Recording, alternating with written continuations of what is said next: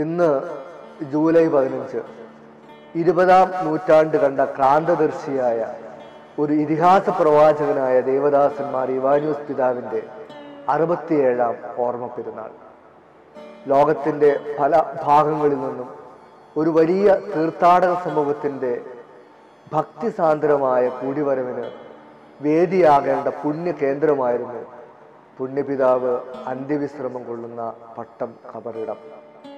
Corona എന്ന മഹാദുരന്തം ഒരു നിശബ്ദ യുദ്ധം പോലെ ലോകത്തെ മുഴുവൻ കീഴടക്കുമ്പോഴും കബറിടം നിശബ്ദമാകുമ്പോഴും ആ പുണ്യ ജീവിതത്തെ ലോകം മുഴുവൻ മറക്കാതെ തങ്ങളുടെ നെഞ്ചോട് ചേർത്ത് ദീപ്തമായ ഓർമ്മയാക്കി മാറ്റുന്നു.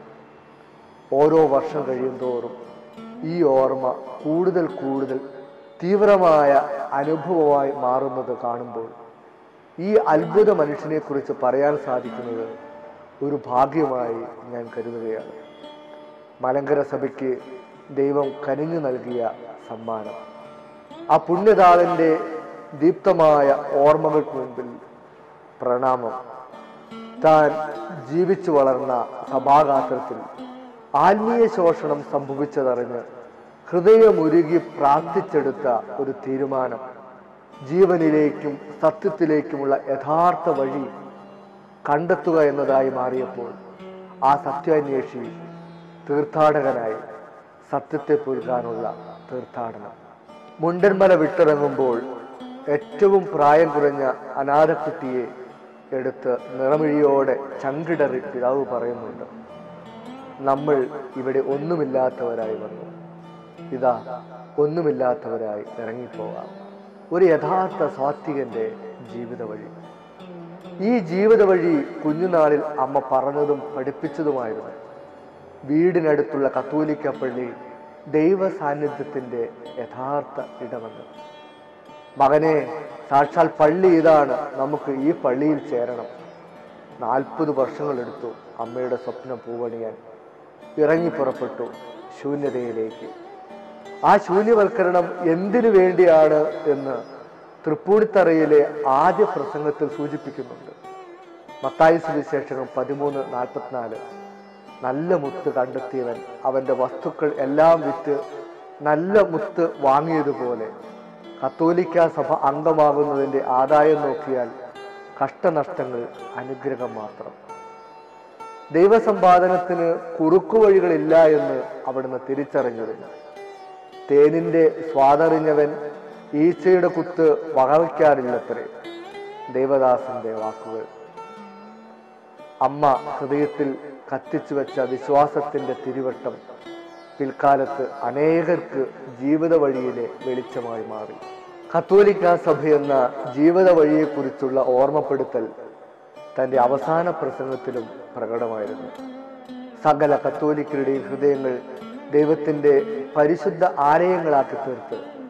ലോകം മുഴുവൻ സാക്ഷ്യത്തായ കത്തോലിക്ക ലോകമായി തീരുന്നത് മാത്രമാണ് വലിയ കാര്യമെന്ന് ചിന്തിച്ച് ലക്ഷ്യം വയ്ക്കുക ഇതാണ് മലങ്കയുടെ മിഷൻ. ഒന്ന് ലോകം മുഴുവൻ കത്തോലിക്ക കുടുംബമായി മാറണം. രണ്ട് കത്തോലിക്കര ഹൃദയം ദൈവത്തിന്റെ ആലയമാകണം. നവസുവിശേഷവൽക്കരണത്തിന്റെ വ്യക്തമായ ഒരു പാഠം. മലങ്കര കത്തോലിക്ക സഭയുടെ പ്രഥമ അസംബ്ലിയിലെ പ്രതിപാദ്യ വിഷയവും ഇതുതന്നെയാണ്. ഓരോ വിശ്വാസിയും സുവിശേഷമായി മാറാനുള്ള ആഹ്വാനം. സുവിശേഷികയായ മലങ്കര സുറിയാനി കത്തോലിക്ക സഭ ദൈവസമ്പാദനമെന്നതിന്റെ മറ്റൊരു ഭാവം. സുവിശേഷം ജീവിക്കുന്നതിനും സാക്ഷ്യപ്പെടുത്തുന്നതിനും നമ്മൾ സജ്ജമാകണമെന്നുള്ള ദേവദാസിന്റെ ആത്മാവിന്റെ സന്ദേശം. ദ്വിതീയ അസംബ്ലിയിലൂടെ കൃപ നിറയുന്ന കുടുംബങ്ങളിലേക്ക് സഭ ശ്രദ്ധയൂന്നുമ്പോൾ വീണ്ടും നവസുവിശേഷവൽക്കരണത്തിന്റെ അനിതര സാധ്യതകളും അനിവാര്യതയും നാം തിരിച്ചറിയുന്നു. ഒരിക്കൽ സഭയിൽ ആത്മീയത നഷ്ടപ്പെട്ട് ഭൗതിക സ്വത്തിൽ പിടിമുറക്കിയപ്പോൾ പുകപടലങ്ങൾക്കിടയിൽ ദൈവത്തെ തിരഞ്ഞ് മടുത്ത് ഇറങ്ങി പുറപ്പെട്ടത് ഒരു ആത്മീയ കൂടാരത്തിന്റെ പുനർനിർമ്മിതിക്കും പുനഃപ്രവേശനത്തിനുമാണ് എന്ന് ബോധ്യപ്പെടുമ്പോൾ മാത്രമാണ് സുവിശേഷം ആകേണ്ടതിന്റെയും സഭയിലും കുടുംബത്തിലും വീണ്ടും കൃപ നിറയേണ്ടതിന്റെയും അനിവാര്യത നാം മനസ്സിലാക്കുന്നത്. ഇവ രണ്ടും നമ്മിലെ നവസുവിശേഷവൽക്കരണത്തിന്റെ ഇരുപുറങ്ങളാകട്ടെ എന്നാണ് പ്രാർത്ഥന. മലങ്കരയിലെ ഈ നവോദ്ധാരകന്റെ ചിന്തകളിൽ ഒന്ന് ഇന്നും ഒരു ജീവിത ധ്യാനമായി മാറണം. ദൈവസമ്പാദനം. ദൈവസേവനം പ്രവൃത്തിയാണെന്നും ഫലം ദൈവസമ്പാദനമാണെന്നും കൂടെ കൂടെ ദൈവദാസൻ നമ്മളെ ഓർമ്മപ്പെടുത്തുന്നുണ്ട്. ഭൗതിക സമ്പാദനം നാശമാണെന്നും സ്വർഗത്തിൽ നിക്ഷേപം കരുതി വെക്കണമെന്നും കരുതി ജീവിച്ച് കാണിച്ചു തന്ന തിരുമേനി. സഭയിലെ യൂദാസുമാർ പാഠമാക്കാൻ വേണ്ടി മാത്രം. ബദരിയിലെ മാർത്തയും മറിയവും മറ്റൊരു പഠന വിഷയമാണ്. ഒരാൾ ശുശ്രൂഷയിലും സേവനത്തിലും തിരക്കേറിയപ്പോൾ വചന സമ്പാദനം വഴിയാക്കവളാണ് മറിയമാർ. വചന സമ്പാദനം വെറും വായനയല്ലെന്നും വിശുദ്ധ കുർബാന വെറും കൂടലല്ലെന്നും തിരുമേനി തിരിച്ചറിഞ്ഞു. എല്ലാം സ്നേഹത്തിന്റെ വഴിയായി മാറണമെന്ന് സാരം. ദൈവം കാണിച്ച വഴിയെ ചരിച്ചവരാണ് പരിശുദ്ധ മറിയവും വിശുദ്ധ യൗസേപ്പും ദൈവം പറഞ്ഞ വഴി കഠിനമല്ലാഞ്ഞിട്ടല്ല വള്ളി പുള്ളി തെറ്റാതെ അവർ പാലിച്ചു. കുഞ്ഞുണ്ടായ പാതിരാവിൽ തന്നെ അന്യദേശത്തേക്ക് കുഞ്ഞിനും ജീവിതത്തിനും കരുതി വെച്ചതെല്ലാം കളഞ്ഞ് സമ്പത്തായവനെ നെഞ്ചോട് ചേർത്തു. ഈ യാത്ര തന്നെയാണ് ഇവാനിയൻ വഴിയുടെ പ്രചോദനവും നിഷ്കപടനായ ഒരു യഥാർത്ഥ ഇസ്രായേൽക്കാരൻ. പ്രൊഫസർഷിപ്പിൽ നിന്നും സന്യാസത്തിലേക്കും പിന്നീട് സന്യാസത്തിന്റെ പൂർണത തേടി മുണ്ടൻ മലയിൽ നിന്നും ശൂന്യവൽക്കരണത്തിന്റെ അപാരമായ താഴ്വരയിലേക്ക്. സമ്പാദിച്ച അറിവുകൾ കൊണ്ട് നേടാനാവാത്ത സമ്പത്ത് തേടി അവിടുന്ന് യാത്ര തിരിച്ചു. അമ്മ എന്ന വാക്കിനും സഹോദരങ്ങൾ എന്ന ബന്ധത്തിനും കർത്താവ് കൊടുത്ത നിർവചനവും സാക്ഷാൽ വഴിയപ്പമായി മാറി. ദൈവവചനം ശ്രവിക്കുകയും അതനുസരിച്ച് പ്രവർത്തിക്കുകയും ചെയ്യുന്നവരാണ് എന്റെ അമ്മയും സഹോദരരും എന്ന് മുണ്ടമ്പല വിട്ടിറങ്ങുമ്പോൾ പല ആവർത്തി ഉരുവിട്ടിട്ടുണ്ടാവും വചനവും വിശുദ്ധ കുർബാനയും ദൈവസമ്പാദനത്തിന്റെ രണ്ട് പുറങ്ങൾ ആകണമെന്ന് വ്യക്തികളോടും കുടുംബങ്ങളോടും സഭയോട് തന്നെയും ദേവദാസൻ ഓർമ്മപ്പെടുത്തുന്നു.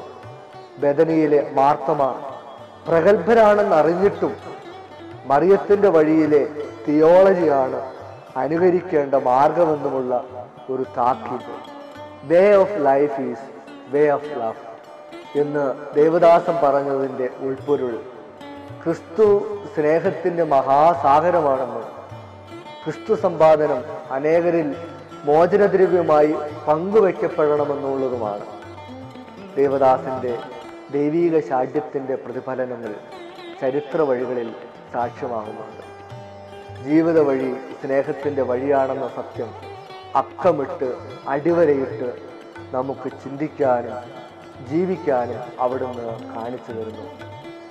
സ്നേഹമല്ലാതെ സുവിശേഷമാകാൻ മറ്റു കുറുക്കുവഴികളില്ല ഉപരിവിപ്ലവമായ ആശയങ്ങളും പുൾപ്പിറ്റ് പ്രസംഗങ്ങളും അർത്ഥശൂന്യം മാത്രം ഇതുതന്നെയാണ് ഭാരത സന്യാസത്തിന്റെ ആത്മീയ ചിന്തയിലേക്ക് മാറിവാനൂസിനെ നയിച്ചത്.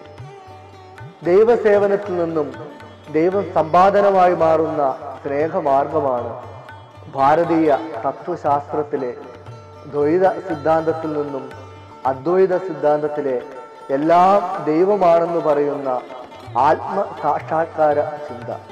ഇത് ബദനി പ്രസ്ഥാനത്തിന് ഏറെ പ്രചോദനം നൽകിയിട്ടുണ്ട്. സുവിശേഷ മൂല്യങ്ങൾ മാനവ ഹൃദയങ്ങളിൽ എത്തിക്കാൻ ടാഗോറിന്റെ വിശ്വ മാനവികതയും ബദനി സന്യാസത്തിൽ ഉൾച്ചേർന്നിട്ടുണ്ട്. ഇവിടെ കാവ്യൊരു ജീവിത ശൈലിയാണ് പരിവേഷമല്ല ക്രിസ്തുവിന്റെ ശൂന്യവൽക്കരണത്തോട് താതാന്യപ്പെടുത്തുന്ന ജീവിത വഴി അവസാനമായി മാറുവാനിയോസ് കർമ്മയോഗിയെ ലോകത്തിന്റെ അത്ഭുതമായിരുന്നു എന്ന് പറയാൻ ഞാൻ ആഗ്രഹിക്കുന്നു. പ്രശസ്ത ആംഗ്ലേയ സാഹിത്യകാരൻ ജി കെ ചെസ്റ്റർട്ടന്റെ വാക്കുകളിൽ സൂര്യോദയത്തിന്റെ നാട്ടിൽ നിന്നും ഒരു അപൂർവ പുരോഹിതൻ പലമാതിരി വിഷയങ്ങൾ സംസാരിച്ചു എന്നെ അതിശയിപ്പിച്ചു. തലപ്പാവും കുരിശും ധരിച്ച ആ മനുഷ്യനെ കണ്ടതിൽ എന്റെ മാംസത്തിൽ എന്തോ നുരയ്ക്കുന്നത് പോലെ എനിക്ക് തോന്നി. മാരിവാനിയോസ് തിരുമേനിയുടെ വ്യക്തി പ്രാഭവത്തെ തിരിച്ചറിഞ്ഞ വിശ്വപ്രശസ്തനായ ഒരു എഴുത്തുകാരന്റെ അനുഭവ സാക്ഷ്യം. എഴുത്തുകൾക്കും പ്രസംഗങ്ങൾക്കും വിവർണനാതീതമായ ഒരു മഹത് വ്യക്തി മലങ്കര സഭയിൽ ആത്മീയ കൂടാരം പണിയാൻ വിശുദ്ധ ബൈബിളിലെ ബസാലിനെ പോലെ ഇക്കഴിഞ്ഞ നൂറ്റാണ്ടിനെ വിസ്മയിപ്പിച്ച മനുഷ്യൻ. ഒരു അമാനുഷികൻ തന്നെ. ഇദ്ദേഹം വിശുദ്ധനായിരുന്നു. ജനനം മുതൽ മരണം വരെ ചില അസാധാരണത്വങ്ങൾ പ്രകടമാക്കിയ ഒരു ജീവിതം. കുടുംബത്തിൽ ഒരാൺകുഞ്ഞ് ജനിക്കാൻ അമ്മ പരിശുദ്ധ ദൈവമാതാവിന്റെ മാധ്യസ്ഥം യാചിച്ച് പ്രാർത്ഥിക്കുകയും ഗർഭസ്ഥ ശിശുവിനെ മാതാവിന് പ്രതിഷ്ഠിക്കുകയും ചെയ്തതിന്റെ ഫലമായി പരിശുദ്ധ ദൈവമാതാവിന്റെ ജന്മത്തിരുനാളിൽ ജനനം പരിശുദ്ധ കനികമറിയാമിന്റെ പുകഴ്ചയുടെ ദിവസം ഷമ്മാശുപ്പട്ടം മാതാവിന്റെ സ്വർഗാരോഹണ ദിവസം വൈദികനായി. കർമ്മല മാതാവിന്റെ തിരുനാളിന്റെ തലേ രാത്രി ആ ദിവ്യപുരുഷൻ കാലയവനിക മറഞ്ഞു ഈ മാതൃഭക്തൻ ചരിത്ര നിയോഗമായി വന്ന ദൈവത്തിന്റെ പ്രവാചകനല്ലേ? പണിക്കൊരു വീട്ടിലെ പണിക്കാരൻ കുഞ്ഞിനെ കാളവണ്ടിയുടെ കോൽമരത്തിൽ ഇരുത്തി വിറളി പൂണ്ട കാളകൾ ഓടിയപ്പോൾ കുഞ്ഞു തെറിച്ച് ചക്രത്തിനു മുന്നിൽ വീണു. പക്ഷേ വിരണ്ടോടിയ കാളുകൾ ഒരു അദൃശ്യ ശക്തിയുടെ പ്രചോദനം പോലെ സഡൻ ബ്രേക്ക് ഇട്ടതുപോലെ നിശ്ചലമായി. മലങ്കര സഭയെന്ന ആത്മീയ പ്രസ്ഥാനത്തിന് ദൈവം നിയോഗിച്ച ദിവ്യപുരുഷൻ കാല യവനിക്കുള്ളിൽ തിരോധാനം ചെയ്യുവാൻ ദൈവം അനുവദിക്കുമോ? ഈ ബാലൻ ഭാവിയിൽ ഒരു മഹാനായി തീരുമെന്നുള്ള കുടിപ്പള്ളിക്കൂടത്തിലെ ദാവീദാസന്റെ പ്രവചനവും പിൽക്കാലത്ത് അന്വർത്ഥമായി. ലോകം അദ്ദേഹത്തിന്റെ വ്യക്തിപ്രാഭവത്തെ വാനോളം പ്രവഹിച്ചു യു എൻ ഒയിലെ അഞ്ച് മിനിറ്റ് കൊണ്ട് ഒന്നേ മുക്കാൽ കോടി വരിക്കാറുള്ള ഡെയിലി ന്യൂസ് പറഞ്ഞു the most photographic person of the year ലോകപത്രങ്ങൾ രേഖപ്പെടുത്തി. A great man from India the greatest missionary of twentieth century American president Truman അഭിപ്രായപ്പെട്ടു ഒരു അത്ഭുത മനുഷ്യൻ.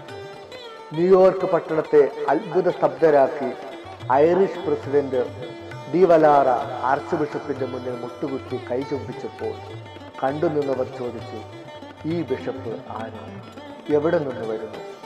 ഇങ്ങനെ ലോകം ഒട്ടനവധി വേദികളിൽ ഈ മാസ്മരിക വ്യക്തിത്വത്തെ വാനോളം പുകഴ്ത്തി. ആ പുണ്യജീവിതം ഈ ലോകം വെടിഞ്ഞപ്പോൾ ലോകപത്രങ്ങൾ വീണ്ടും എഴുതി. ആ നസ്രാണി സിംഹം ഭാരതജുമാൻ എന്നേക്കുമായി കാലയവനിക മറന്നു. ദീപികയിൽ മുട്ടത്ത് വർക്കി കുറിച്ചു വെച്ചു. ആ ദീപം പൊലിഞ്ഞു പോയെങ്കിലും അതിന്റെ ദിവ്യ ഭാവുക പ്രകാശങ്ങൾ തുടരുമന്യൂനമായി. ആ മണി ഉടഞ്ഞുപോയെങ്കിലും പോയെങ്കിലും മതിന്നാത പീയൂഷ തരംഗങ്ങൾ ജനത്തെ കുളിപ്പിക്കും ആ മനോജ്ഞമാം പുഷ്പം പൂഴിയിൽ ലയിച്ചിട്ട് മായുതും പരിമളം വ്യക്തമായ നിലനിൽക്കും. ഈ പുണ്യജീവിതത്തിന്റെ സ്മരണ ഏവർക്കും അനുഗ്രഹമായി മാറട്ടെ.